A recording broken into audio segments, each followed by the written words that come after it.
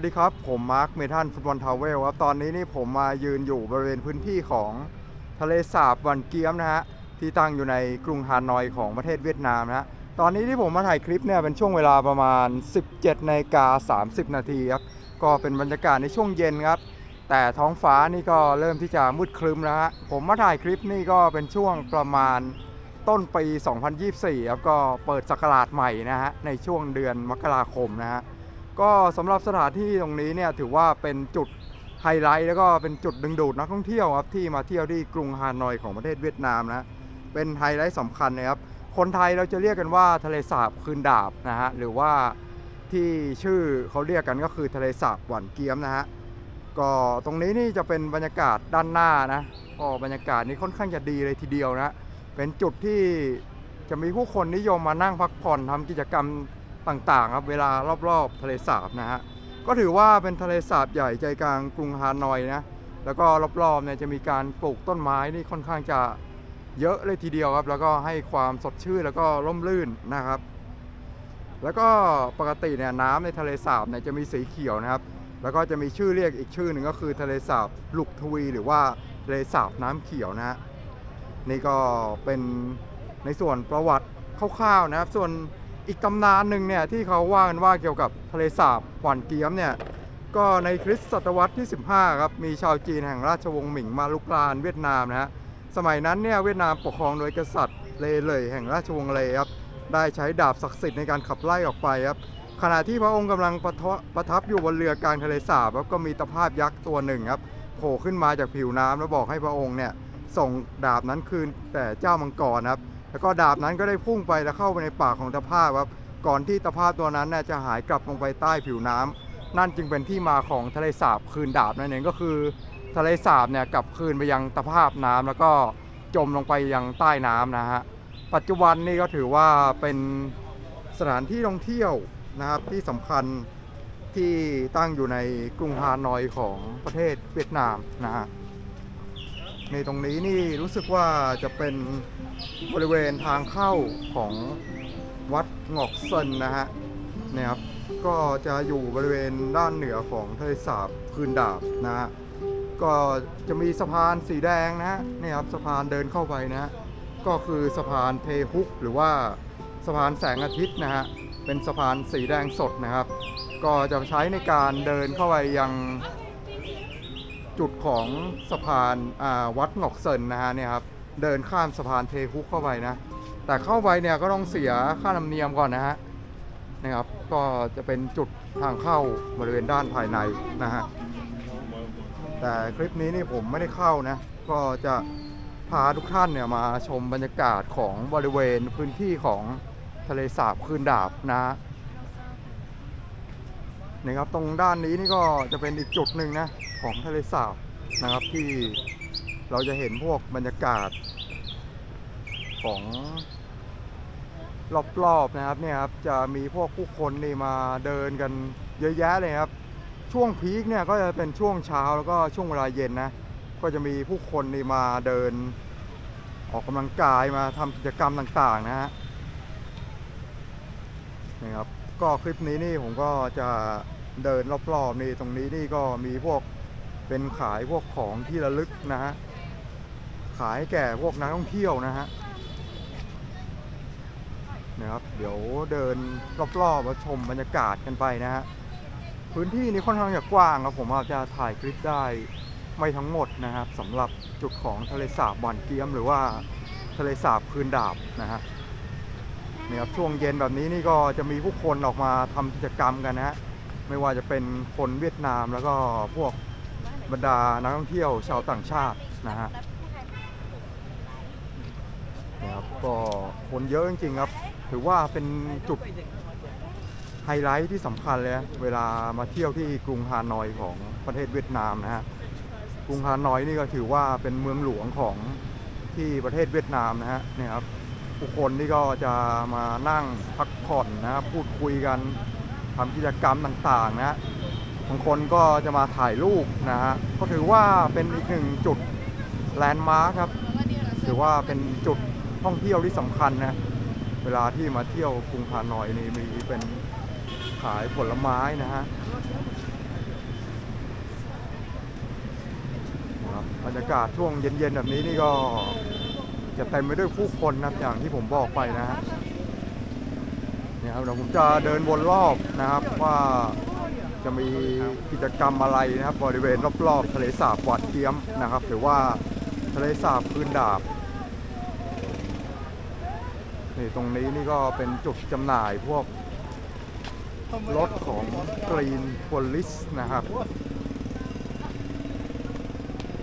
นะครับ แล้วก็บริเวณรอบๆของทะเลสาบคืนดาบเนี่ยสังเกตนะว่าจะมีพวกบรรดาตึกอาคารบ้านเรือนต่างๆนะครับ แต่เขาจะมีการทำเป็นพวกร้านขายของที่ระลึกนะครับทำเป็นร้านคาเฟ่หรือว่าร้านกาแฟนะฮะร้านเครื่องดื่มต่างๆนะ ก็จะตั้งเรียงรายอยู่บริเวณรอบๆทะเลสาบฮว่านเกี๊ยมนะฮะก็ถือว่าเป็นจุดเช็คอินนะครับ แล้วก็เป็นจุดแลนด์มาร์คที่สำคัญนะที่ตั้งอยู่ในกรุงฮานอยของประเทศเวียดนามนะฮะ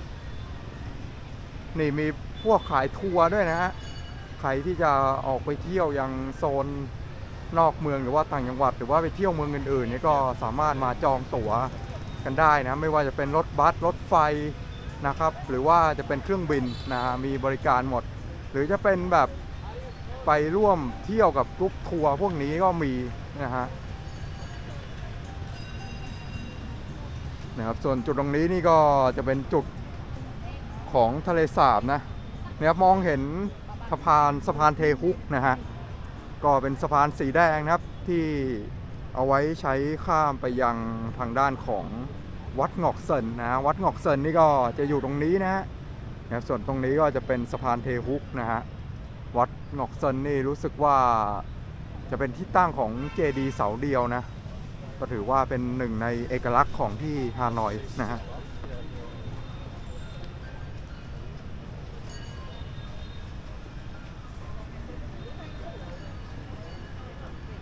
นะครับ ผมก็เดินวนรอบๆให้ดูบรรยากาศไปเรื่อยๆนะฮะ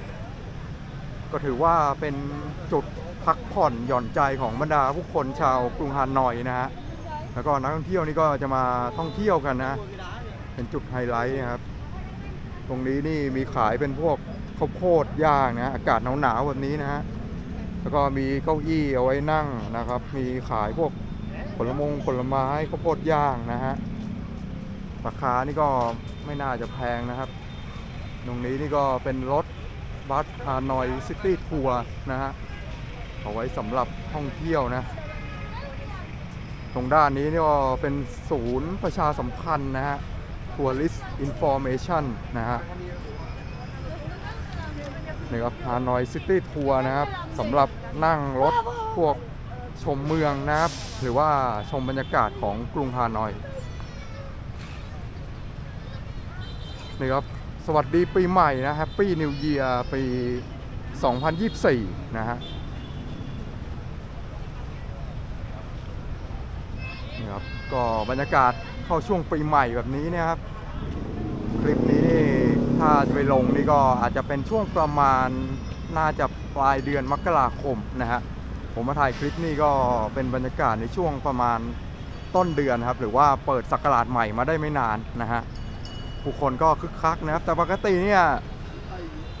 วงพื้นที่ของทะเลสาบหวันเกียมเนี่ยก็จะมีผู้คนคึกคักกันอยู่ตลอดทุกวันอยู่แล้วนะฮะ ไม่ว่าจะเป็นช่วงเทศกาลหรือว่าช่วงที่ไม่ใช่เทศกาลนะฮะนะครับแล้วก็จะมีจุดของผู้คนนี่ที่จะมาวิ่งออกกำลังกายนะบริเวณพื้นที่ตรงนี้นะครับนะครับก็จุด แล้วก็ตรงนี้นี่รู้สึกว่าจะเป็นร้านขายพวกไอศครีมนะฮะ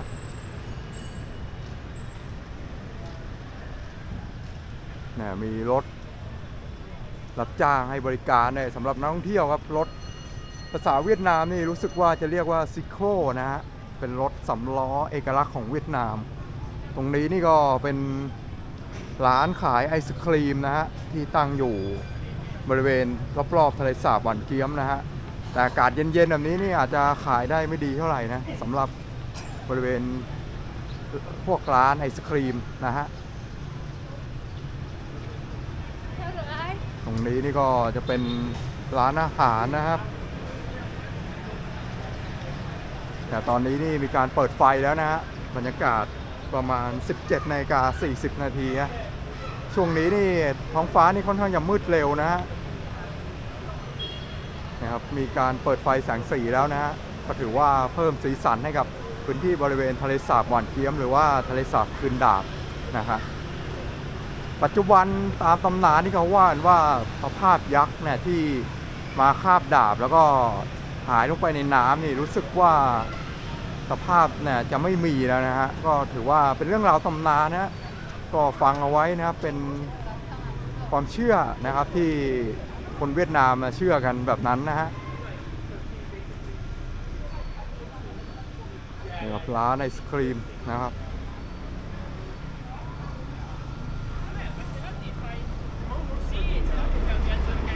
มีร้านอาหารบริเวณรอบๆนะฮะนี่ครับเดี๋ยวไปชมจุดบริเวณทะเลสาบกันอีกครั้งนะฮะนี่ครับจุดบริเวณของทะเลสาบ นะครับ ตอนนี้นี่ก็เริ่มเปิดไฟฮะช่วงต้นคลิปนี่ท้องฟ้ายังไม่มืดเท่าไหร่แต่ตอนนี้เริ่มมืดนะครับ ก็จะมีการเปิดไฟแสงสีนะครับ เพิ่มสีสันให้กับพื้นที่บริเวณริมทะเลสาบนะฮะ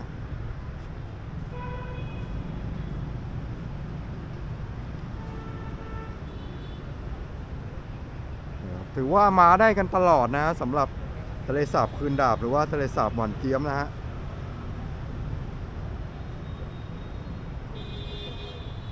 เพ ราะว่าจุดตรงนี้เนี่ยจะมีความสวยงามครับไม่ว่าจะเป็นช่วงเช้าเช้ากลางวันหรือว่าจะเป็นช่วงเย็นจนไปถึงช่วงเวลายามค่ำคืนนะฮะนี่ครับบรรยากาศในช่วงเวลาใกล้จะ6โมงเย็นนะครับที่ทะเลสาบวันเกี๊ยมหรือทะเลสาบพื้นดาบนะฮะแสงไฟที่เห็นนี่ก็จะเป็นแสงไฟของพวกร้านไอศครีมนะฮะ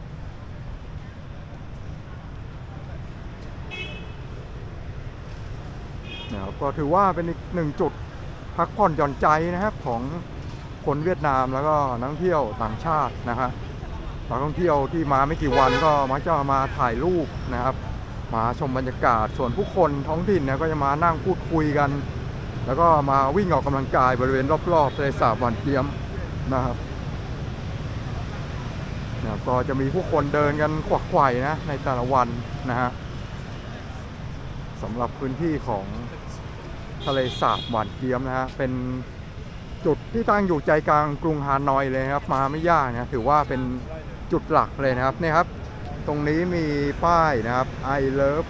ฮานอยนะฮะฮานอยนี่ก็เป็นเมืองหลวงของประเทศเวียดนามนะเป็นเมืองศูนย์กลางที่สำคัญทางเศรษฐกิจของประเทศ แล้วก็ตั้งอยู่ทางตอนเหนือของประเทศเวียดนามนะ ส่วนเมืองศูนย์กลางทางเศรษฐกิจที่ตั้งอยู่ทางตอนใต้ของประเทศเวียดนามเนี่ยก็คือทางด้านของกรุงอ่านครโฮจิมินห์ซิตี้นะครับคือเวียดนามเนี่ยจะมี 2 เมืองใหญ่ก็คือฮานอยแล้วก็โฮจิมินห์ซิตี้แต่ที่ฮานอยเนี่ยก็จะเป็นเมืองหลวงนะครับ แต่ก็ถือว่ามีความสำคัญเรียกว่าพอๆกันเลยนะฮะนี่ครับแล้วก็จะมีผู้คนนี่มา เรียกว่าทำกิจกรรมเต้นระบำเริงระบำอะไรกันด้วยนะ รู้สึกว่าจะเป็นพวกกลุ่มแม่บ้านหรือว่ากลุ่มพวกป้าๆซะหน่อยนะฮะ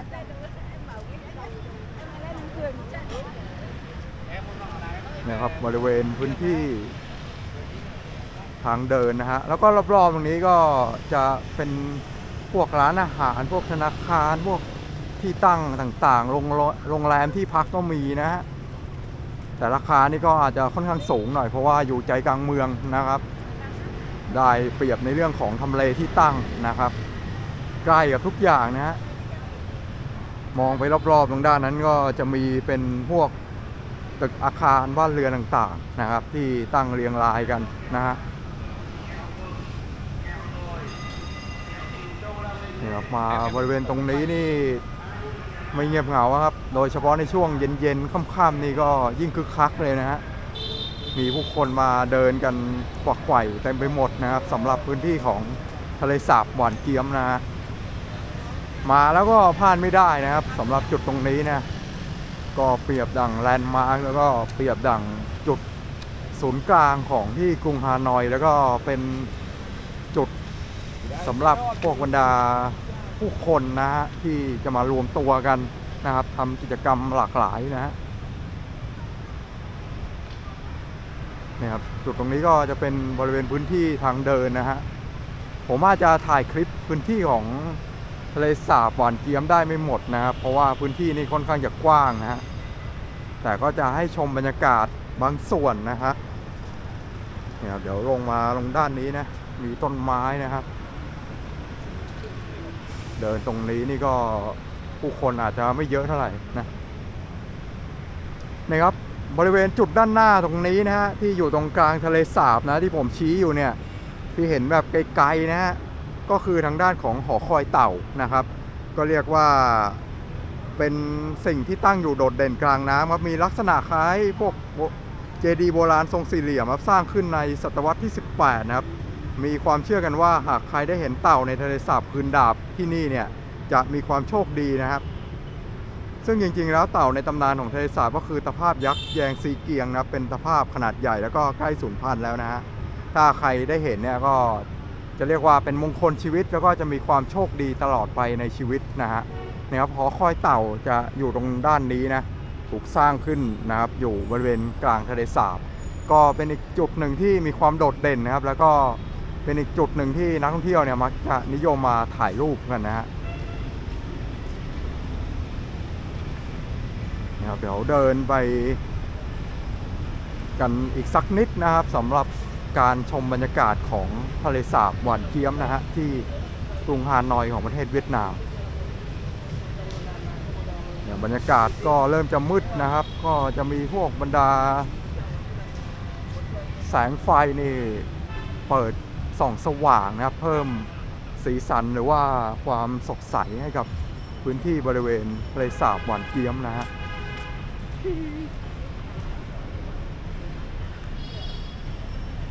บรรยากาศในช่วงเวลาใกล้จะ6โมงเย็นนะครับ ก็จะมีผู้คนนี่มานั่งทำกิจกรรมกันเยอะนะโอ้ตรงด้านนี้รู้สึกว่าจะมีการทำกิจกรรมพวกเต้น ออกกำลังกายนะครับของพวกบรรดาแม่บ้านชาวเวียดนาม ก็เราจะได้เห็นกันตลอดนะฮะในเมืองไทยก็จะมีครับพวกบรรดาคนสูงอายุหรือว่าพวกที่อาจจะเป็นวัยลุงลุงป้าป้าซะหน่อยนี่ออกมาทำกิจกรรมกันบริเวณสวนสาธารณะนะฮะส่วนใหญ่ก็จะรวมตัวกันเต้นแบบนี้นะฮะแล้วก็มีการเปิดเพลงด้วยนะครับ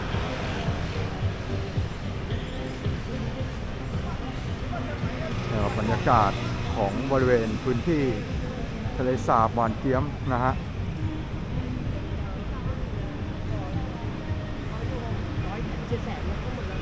นะครับเดี๋ยวเดินลงไปบริเวณจุดด้านล่างนะฮะ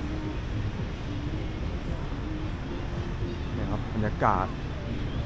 ผมเดินตั้งแต่ช่วงเวลา 17นาฬิกา30 นาทีครับ ตอนนี้นี่ก็เดินกันมานี่ก็เกือบเกือบจะ 20 นาทีแล้วนะสำหรับ จุดของทะเลสาบหวานเกี๊ยมนะฮะก็อาจจะมาจบคลิปกันตรงบริเวณจุดด้านนี้นะฮะสำหรับคลิปของทะเลสาบหวานเกี๊ยม หรือว่าทะเลสาบคืนดาบนะฮะก็ถือว่าเป็นจุดแลนด์มาร์คที่สำคัญครับที่ตั้งอยู่ในกรุงฮานอยของประเทศเวียดนามครับมาฮานอยนี่ก็พลาดไม่ได้ครับอย่าลืมมาเที่ยวชมแล้วก็แวะชมบรรยากาศกันนะครับบรรยากาศนี้ค่อนข้างจะดีเลยครับแล้วก็จะเป็นจุดที่ผู้คนนิยมมาพักผ่อนออกกำลังกาย แล้วก็